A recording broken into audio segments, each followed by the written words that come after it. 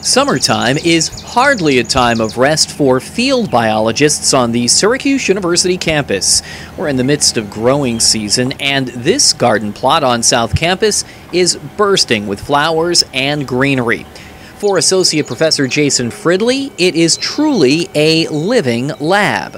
Which means we're very interested in how forests and grasslands and other types of plant communities respond to the environment, particularly things like climate change, but also the increased importance of invasive species. Those invasive species, some coming from across the ocean, have taken a foothold in forests in the United States and probably in your own backyard, too. This garden plot contains many of them, all part of Professor Fridley's research. One of our um, main reasons for establishing this garden is to understand a little bit more about the basic biology of these plants.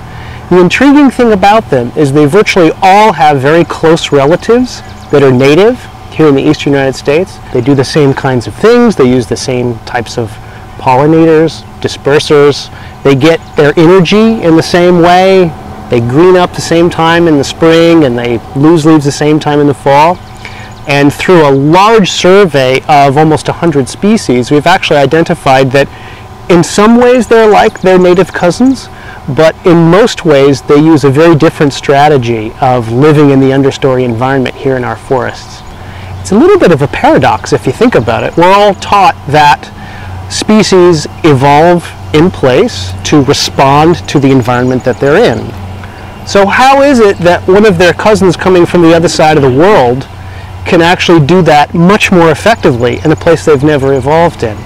So we're trying to figure out how is it that a seed from a honeysuckle from China gets into a forest and within 10 or 20 years can actually be more abundant in the understory of that forest than anything that the native community has to offer. Interestingly enough, Professor Fridley says the invaders are active much longer into autumn in terms of making food, photosynthesis, than native plants, staying green longer into the season. Why this is happening? Well, that's part of what this research is all about. Keith Copeland, SU News.